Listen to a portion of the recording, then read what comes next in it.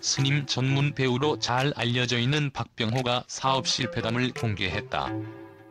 16일 방송된 TV조선 인생 다큐 마이웨이에는 데뷔 64년 차원로 배우인 박병호가 출연해 경남 남해에 서서 아내와 전원 생활 중인 근황을 공개했다. 박병호는 2008년에 바다가 너무 좋아서 집을 바닷가 쪽으로 찾다가 여기까지 왔다고 남해에 거주하게 된 이유를 밝혔다. 박병호는 이것저것 사업을 많이 했다. 부채가 1970년 당시 4억 정도였다면서 제작한 영화가 3에서 4편 정도 되는데 그 판을 잘 모르다 보니 출연료, 임대료 등을 자세히 모르지 않나. 다른 영화에 비해 제작비가 1.5에서 1.6배 정도 더 들어갔다. 당연히 손해가 날 수밖에 없었다라고 설명했다. 박병호는 정치에 입문했다가 쓴맛을 봤던 경험도 고백했다. 그는 고김종필 전 총리와의 인연으로 정치에 입성했지만 이번에 낙선을 끝으로 정치계를 떠났다. 세 번째 도전을 왜 하지 않았느냐는 물음에 박병호는 더 이상 미련을 가지면 안 되겠다 싶더라. 가족들이 생각났다고 답했다. 한편 박병호의 전 부인 TV 탤런트 정혜선은 2011년 11월 KBS ETV 여유만만에 출연 후에 남편 빚 때문에 집은 경매로 넘어가고 월세방을 전전긍긍하면서 세 자녀들을 어렵게 키워야 했다고 고백했다. 정혜선은 전 남편의 빚을 갚느라 시간을 다 보냈지만 그러나 결국 일어설 수 있었다며 당시에 힘든 줄을 몰랐다. 그저 남편 잘못 만났네 탓이라는 생각으로 살았다고 밝혔다. 또한 정혜선은 자살 생각은 추호도 갖지 않았다. 남들은 갱년기에 우울증으로 고생한다던데 나는 그보다 자식 셋을 잘 키워야겠다는 생각이 강해서 남편을 미워하지도 않았다. 좋게 생각해서 상황을 잘 헤쳐나가자고 생각하고 30대를 긍정적으로 살았다고 말했다.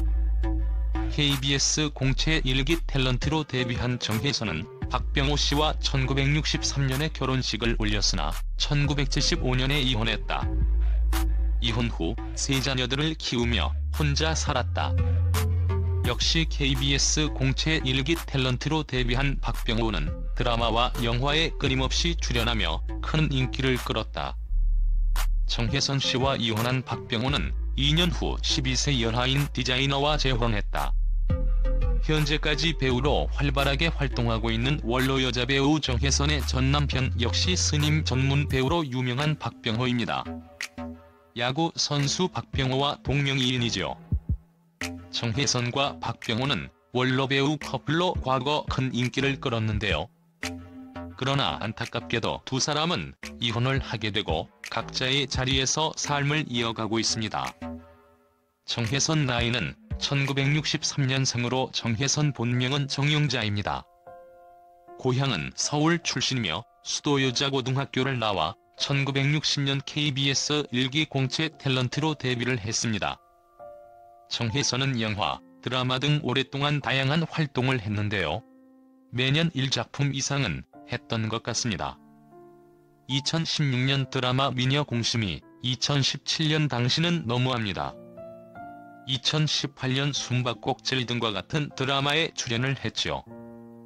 정혜선이 가장 주목을 받았던 작품은 1992년 드라마 아들과 딸에서 최수정만 편애하고 김희애를 박대하는 어머니로 출연을 했을 때인데요. 이 당시 아들을 편애하는 어머니 역으로 정혜선은 대중들로부터 엄청난 비난을 받았습니다. 이 때문에 한동안 악역 연기를 일부러 피하기도 했지요. 정혜선 결혼과 이혼 정혜선은 22세의 어린 나이에 배우 박병호와 결혼을 합니다. 박병호 역시 일기 공채 탤런트로 정혜선과 동기였는데요. 데뷔 이후 1년 동안 연애를 하다가 결혼을 하게 됩니다. 정혜선 박병호는 자녀 3남매를 둘 정도로 금술도 좋았고 순조로운 결혼 생활을 했습니다. 그러다가 박병호가 영화 제작에 손을 대면서 두 사람 사이에 갈등이 생겼는데요. 연예인들이 영화 제작에 많이 뛰어들었는데 사실 성공한 사람보다 실패한 사람이 더 많았지요. 박병호 역시 실패를 하게 되고 엄청난 빚을 지게 됩니다. 이것이 원인이 되어 정혜선 박병호 부부는 1975년 이혼을 하게 되는데요. 정혜선 역시 박병호의 빚을 일부 떠안게 되었습니다. 박병호 정혜선 이혼 이유가 박병호의 사업 실패가 큰 영향을 받았다고 할 수 있습니다. 박병호는 정혜선과 이혼 후 1977년 12살 연하의 디자이너와 재혼을 하게 되는데요. 이혼한 지 얼마 되지 않은 상태에서 재혼을 한 것이라서 박병호에 대해서 당시 말들이 많이 있었습니다. 이후 박병호는 2003년 드라마 무인시대와 2014년 정도전에서 스님 역으로 출연을 했으며 2010년 고향 경남 남해군으로 귀농을 하여 살고 있습니다. 정혜선의 책임감 정혜선은 재혼을 하지 않고 자신에게 남겨진 빚을 갚고 3남매를 키우는데 온 힘을 기울입니다. 정혜선은 상당히 큰 고생을 했는데요. 과거 한 토크쇼에 출연을 하여 이런 말도 했습니다. 남편 빚 때문에 집은 경매로 넘어가고 월세방을 전전긍긍하면서 세 자녀들을 어렵게 키워야 했다. 아이들이 어렸을 때 잠은 오지 대본은 외워야지 하는 수 없이 의자에 나와 아이를 함께 묶어놓고 대본을 외운 적도 있다. 녹화를 하다가도 아이들 학교에 갈 일이 있으면 스태프에게 양해를 얻어 분장한 채로 다녀오기도 했다. 아이들 소풍 가서 찍은 사진을 보면 내가 다 사극 차림이다. 한복을 입고 쪽을 친 그래도 아이들은 우리 엄마 왔다고 좋아했다. 전 남편의 빚을 갚느라 시간을 다 보냈지만 그러나 결국 일어설 수 있었다. 당시 힘든 줄 몰랐다.